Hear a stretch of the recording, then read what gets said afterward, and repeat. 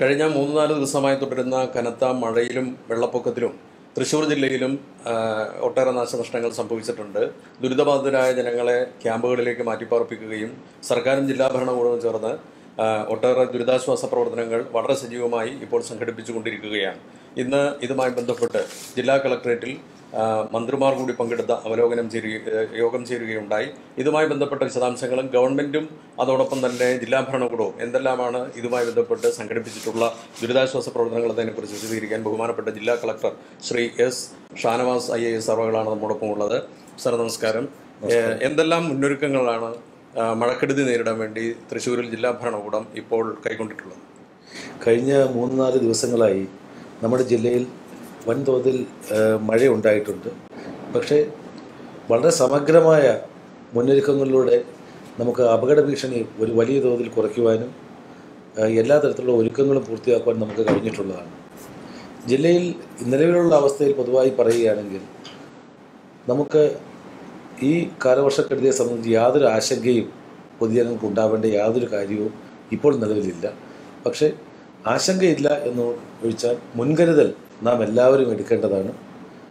ഈ മുൻകരുതലിലൂടെ മാത്രമേ നമുക്ക് അപകട സാധ്യത ഒഴിവാക്കുവാനും കൂടുതൽ നാശനഷ്ടങ്ങൾ ഉണ്ടാവാതിരിക്കുവാനും ജീവഹാനി സംഭവിക്കാതിരിക്കുവാനും നമുക്ക് സാധിക്കുകയുള്ളൂ. മഴക്കെടുതിയുമായി ബന്ധപ്പെട്ട് സമഗ്രമായ നടപടികൾ നാം സ്വീകരിച്ചു എന്ന് ആദ്യം പറയുകയുണ്ടായി. ഇത് തുടക്കത്തിൽ തന്നെ വിവിധ വകുപ്പുകളെ നാം ഏകോപിപ്പിക്കുകയും ജില്ലയിൽ എങ്ങനെയാണ് ക്യാമ്പുകൾ തുറക്കേണ്ടത് എന്നും ഏതൊക്കെയാണ് കെട്ടിടങ്ങൾ അതിനുവേണ്ടി ഉപയോഗിക്കേണ്ടത് എന്നുള്ളതിനെക്കുറിച്ച് വ്യക്തമായ നിർദ്ദേശം താലൂക്ക് തലത്തിൽ തഹസിൽദാർമാർക്കും വില്ലേജ് ഓഫീസർമാർക്കും നൽകിയുണ്ടായിട്ടുണ്ട്. അതിന്റെ അടിസ്ഥാനത്തിൽ വളരെ പെട്ടെന്ന് തന്നെ നൂറ്റി നാൽപ്പത്തി നാല് ക്യാമ്പുകൾ എല്ലാവിധ സൗകര്യങ്ങളോടും കൂടി ജില്ലാ ഭരണകൂടത്തിന് ഒരുക്കുവാൻ വേണ്ടി കഴിഞ്ഞിട്ടുണ്ട്. ഇവയിൽ ഇന്നേ സമയം വരെ പതിനെണ്ണായിരത്തി അഞ്ഞൂറിൽ പരം ആളുകളെ അയ്യായിരത്തി നാനൂറോളം കുടുംബങ്ങളിൽ നിന്ന് ജില്ലയിലെ താഴ്ന്ന പ്രദേശങ്ങളിൽ നിന്ന് പെട്ടെന്ന് തന്നെ അടിയന്തര സാഹചര്യം മുൻനിർത്തി ഈ ക്യാമ്പുകളിലേക്ക് മാറ്റുവാൻ നമുക്ക് കഴിഞ്ഞിട്ടുണ്ട്. സാർ പ്രധാനമായും ഇപ്പോൾ ഡാമുകളുടെ ശേഷിയെക്കുറിച്ചും ഡാമുകൾ തുറക്കുമോ എന്നതിനെ സംബന്ധിച്ചുള്ള ആശങ്കകളാണ് പല ഭാഗങ്ങളിൽ നിന്നും ഉന്നയിക്കപ്പെടുന്നത്. ഡാമുകൾ തൃശ്ശൂർ ജില്ലയിൽ ഇനി തുറക്കാനുള്ള സാധ്യതകൾ എത്രത്തോളം? ജില്ലയിൽ പ്രധാനമായും നമുക്ക് പ്രധാന ഡാമുകൾ പീച്ചി വാഴാനി അതുപോലെ തന്നെ ചിമ്മിനി എന്നീ ഡാമുകളാണ് ഉള്ളത്. അവയിൽ ഒന്നിലും തന്നെ നിലവിൽ അറുപത് ശതമാനത്തിൽ കൂടുതൽ സ്റ്റോറേജ് ആയിട്ടില്ല. ഏറ്റവും കൂടുതൽ അവയിൽ ഉണ്ട് ഉണ്ടായിരിക്കുന്ന വാഴാനി ഡാമിൽ അൻപത്തിയാറ് ശതമാനവും ചിമ്മിനി ഡാമിൽ ഏതാണ്ട് അൻപത് ശതമാനവും ബീച്ച് ഡാമിൽ അൻപത് ശതമാനവും മാത്രമാണ് നിലവിൽ ഇത്ര മഴ പെയ്തിട്ടും ജലശേഖരമുള്ളത്.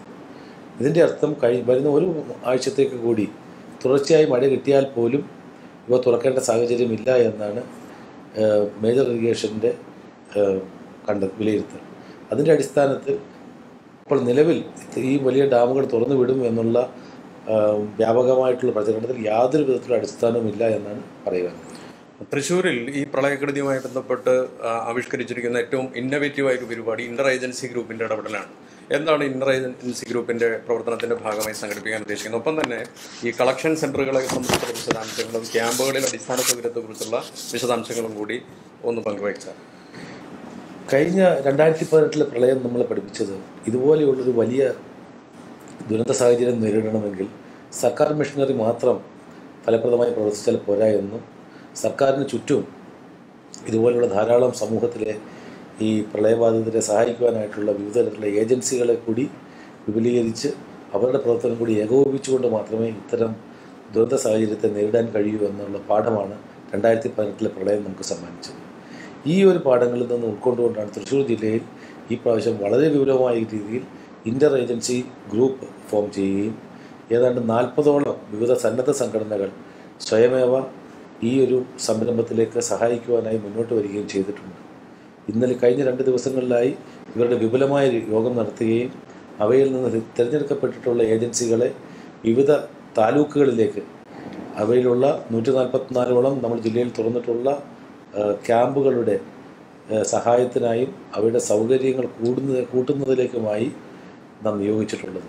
വളരെ വിപുലമായ ഇവരുടെ അനുഭവ സമ്പത്തും ഇവർക്ക് കൂടിയുള്ള റിസോഴ്സും ഉപയോഗപ്പെടുത്തിക്കൊണ്ട് ജില്ലയിലെ പ്രളയ സാഹചര്യത്തെ വളരെ ഫലപ്രദമായി നേരിടാൻ കഴിയുമെന്നാണ് ജില്ലാ ഭരണകൂടം കരുതുന്നത്.